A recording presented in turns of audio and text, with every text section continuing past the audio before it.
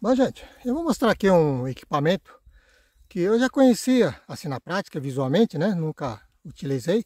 E ultimamente, com facilidade da internet, é, eu adquiri porque eu estou morando aqui em Vila Boa, Goiás, um sol muito forte.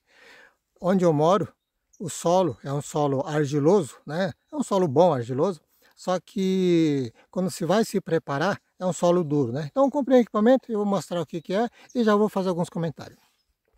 Bom, o equipamento que eu adquiri, na verdade, não é roçadeira inteira, essa aqui é uma roçadeira a gasolina, né? Que eu venho fazendo, faço muito serviço com ela, boa, muito boa.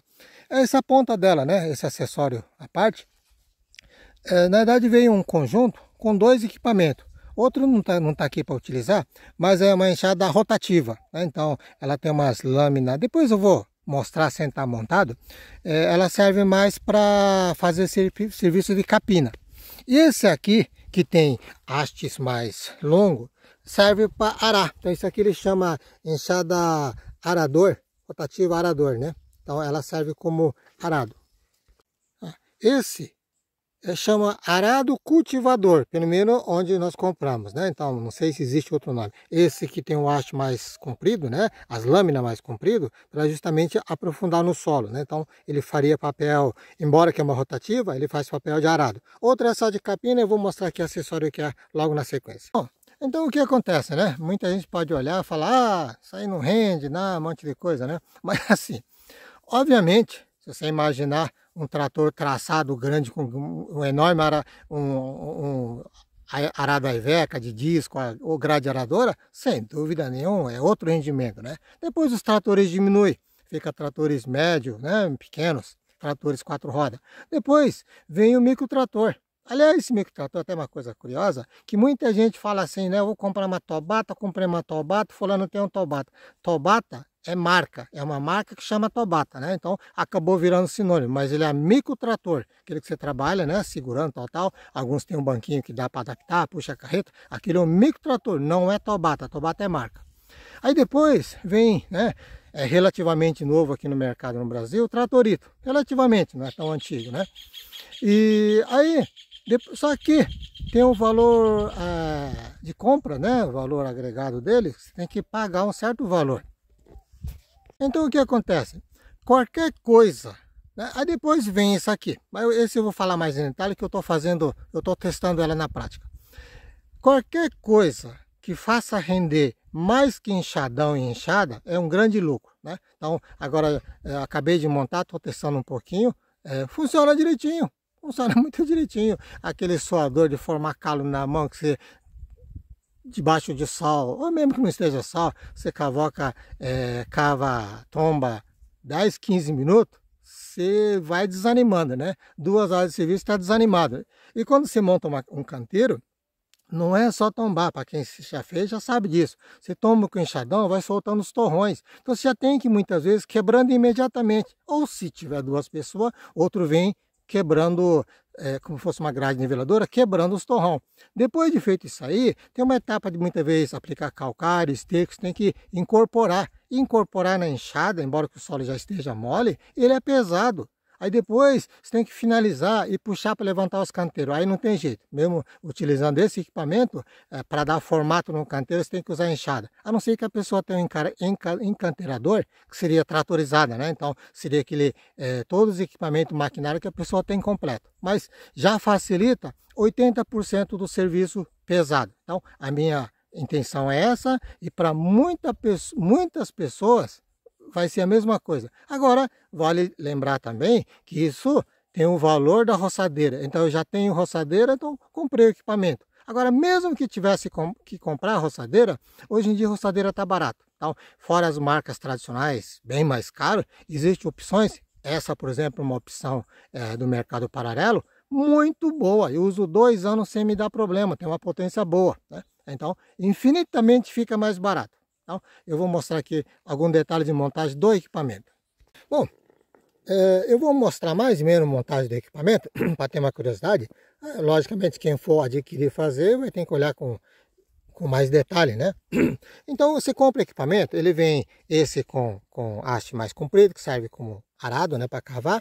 E no meu caso, eu comprei um kit que vem isso aqui junto. Então tem uma presilha aqui no meio, né? Tira, ele vai sair fácil, aí coloca esse no lugar. Lado de lá, a mesma coisa. Então ele serve para fazer serviço de, de capina. Né? Capina, incorporar algumas coisas, mas, é para capinar mesmo isso aqui. Esse é para aprofundar. Então, vem essa peça aqui, né? essa peça que seria a engrenagem, digamos o coração desse equipamento, é, e é fácil instalar. O meu medo é que não servisse, parece que tem algum tipo de marcas que fica incompatível, né? então tem que tomar cuidado. Mas nessas marcas, digamos, importadas, é, parece que tem um padrão de mais de 90% que dá certo. Então, isso é uma coisa que, no meu caso, deu certinho, mas tem que tomar acho que um pouquinho de cuidado. O equipamento, ele vem dessa forma, ah, tem um, dois bicos é, engraxadeira, já vem com o bico engraxadeira, só que como eu não tenho engraxadeira, usei como fosse, imaginando que fosse um parafuso. Desparafusei e enchi de graxa aqui dentro, né?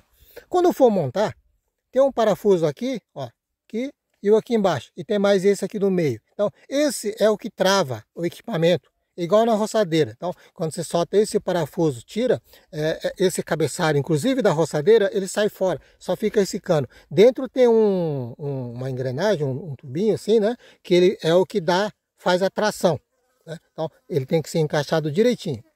Eu já vi gente montando isso aqui, falar que tinha que desparafusar quase tudo, né? Mas na verdade, equipamento, ó, não sei se dá para reparar, ó, tem um cortezinho, o cortezinho vem até aqui. Então ela já vem com uma folga milimétrica. Quando se frouxa esse parafuso e outro igualzinho aqui de baixo, né? Igualzinho aqui de baixo, ela dá essa folga. Então, na hora que se aperta, ele logicamente ele fecha e ajuda nesse aperto.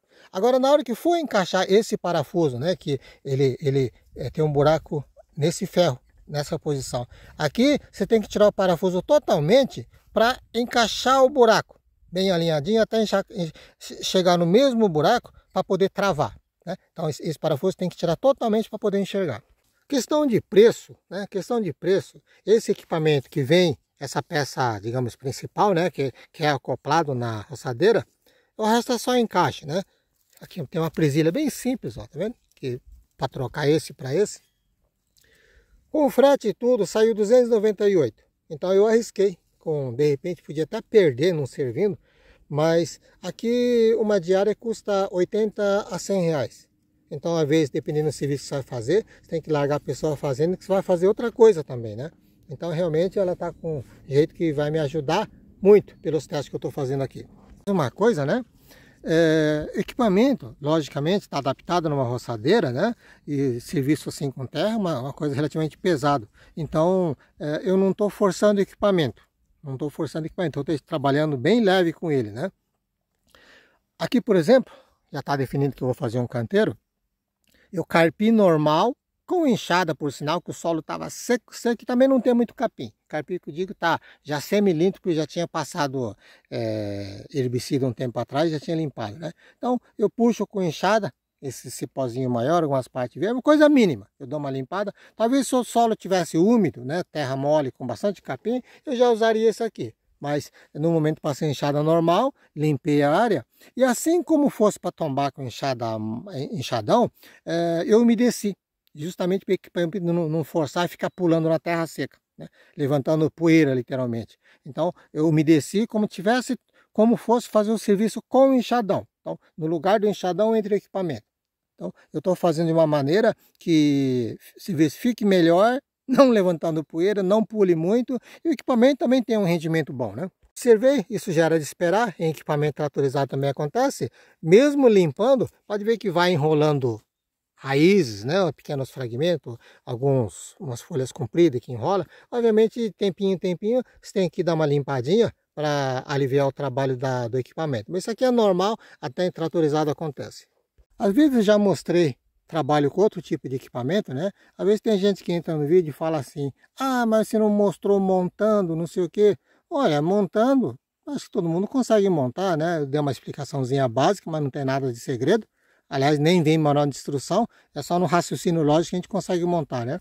O importante que eu acho é passar o sistema de trabalho do equipamento. Sistema de trabalho, o que que fica para aliviar, melhorar, rendimento, né? E o resultado que traz. Isso acho, essa informação, é, pouca gente traz nesse sentido, que é o mais importante, né?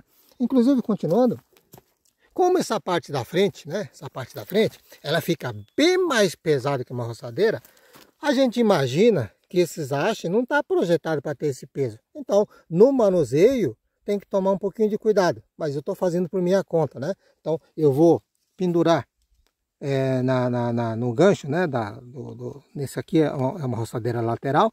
Eu não levanto tudo. Eu deixo no solo embaixo mesmo. Na roçadeira a gente levanta tudo, né? E só levanta aquela parte para enganchar no gancho. Né? Só o peso, somente o peso do equipamento é o suficiente para cavar. Não precisa forçar nem nada. Ah, e mais uma coisa, né? É, eu estou indo assim, digamos, meio metro e faço zigue-zague e vou voltando. Vou mais meio metro para frente, faço zigue-zague e vou voltando. Mas eu vou de qualquer forma, vou mostrar a, a, a forma que eu estou utilizando. Não, não venho no risco só. Para trás, ele tem um rendimento, é, rendimento mais fácil de lidar com a máquina. Porque você vem puxando do que empurrar o equipamento. Detalhe também, pode ver que o bico do, do, do, do da lâmina, né, da haste, tem um biquinho para cá. Então, é, ela tá a, a, a, o equipamento ele vai girar para frente. Então, na hora, da, na hora da montagem, se você virar aos contrários, obviamente deve ter um rendimento menor, que a parte menor está aqui, né? Então, essa parte da frente que eu estou jogando. Se bem que, mesmo comendo dessa forma, é, para trás ele tem um rendimento mais macio. Então, é uma questão de depois, talvez, testar a posição, né? Virar ao contrário para ver o que acontece. Mas assim, na lógica o equipamento vira dessa forma, é, ela está tendo bom rendimento, fácil de trabalhar. Ah, naquele outro equipamento que mostrei agora, que seria mais uma enxada rotativa para capina, é, a, posição das lâminas ele não é retinho, ele é tortinho. Então, de que lado, dependendo do lado que monta, a sujeira, digamos, né, o que foi feito o serviço de, de capina, é, é, as sujeiras que pode ajuntar ou espalhar de acordo que vira, porque a lâmina não é reta, ele é tortinho, tanto que tem essa opção de, de opção de jogar a, a, a, a capina, né? É, os resíduos, para o centro ou espalhar. Mas isso é uma coisa que eu vou testar futuramente. Então, a questão do equipamento, de ser pesado na frente, então tem que tomar um cuidado, né? Então, ligou, ligou a roçadeira, eu não, não pego inteiro, porque ele é pesado. Então eu deixo ele no chão. Eu deixo ele no chão, só levanta a parte do motor, ó, aqui. Quando eu vou andar para chegar até no local, eu dou uma seguradinha a mais aqui, ó, para equilibrar o peso aqui, ó. Porque ele fica pesado do que um original somente calçadeira.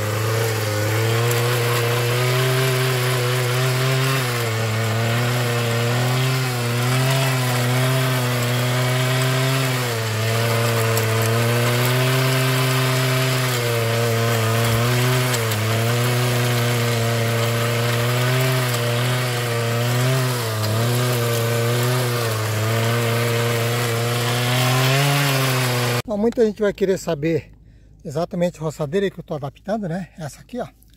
A marca está aqui em cima, ó. Modelo é esse aqui. Parece-me que tem que ter uma certa potência, tá? Então, roçadeiras muito fraquinha, acho que não dá conta para equipamento. Então, essa é a minha roçadeira, marca tá ali. Muito boa. Essa área, eu passei grade aradora com trator dois anos atrás, né? Quando não mexi mais, já choveu, né? Obviamente, diversas vezes. É um solo argiloso, então vai compactando forte, né? Ó, a profundidade tá aqui, ó.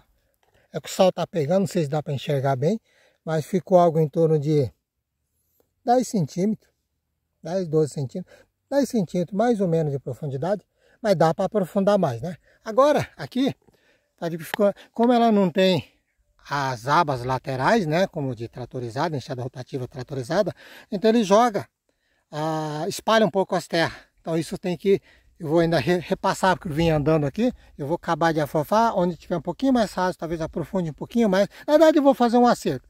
Aqui, a, a, largura, só para vocês terem uma ideia de rendimento, eu trabalhando numa boa, muito tranquilo, né? É, um metro e dez de largura, essa largura, e o comprimento aqui tem 15 metros. Eu fiz com 30, 35 minutos aproximadamente aqui, mas muito tranquilo. A primeira passada, teoricamente é o mais, mais pesado, né? Outro dia eu já usei para misturar esterco nesse canteiro aqui do lado, né? Aí foi 5, 7 minutos, muito rápido, né? Porque já está bem leve, que ela mistura, não deixa o torrão, né? Como fosse no enxadão, ó. Então ela já vai quebrando tudo, né? Como aqui, eu vou dar uma repassadinha, onde eu andei pisando. Aqui ainda tem uma etapa que aqui eu vou aplicar calcário, misturar esterco, NPK, para depois semear. Mas de qualquer forma, são várias operações. A parte pesada de remover a terra vai ser feito tudo com essa rotativa, né? Eu só fiz assim para vocês terem uma ideia, é, 1,10m de solo removido, na hora que a gente puxa para canteiro, nesse caso eu vou trabalhar com canteiro de aproximadamente ó, 50 centímetros, 40, 50 centímetros, seria o topo do canteiro. A base vai estar ali com 70 centímetros aproximadamente, né? e a largura do corte 1,10m. Então, depois de finalizado, quando estiver pronto para plantar, ele vai estar com esse formato. Então, aqui é o suficiente, está dando para fazer um bom trabalho.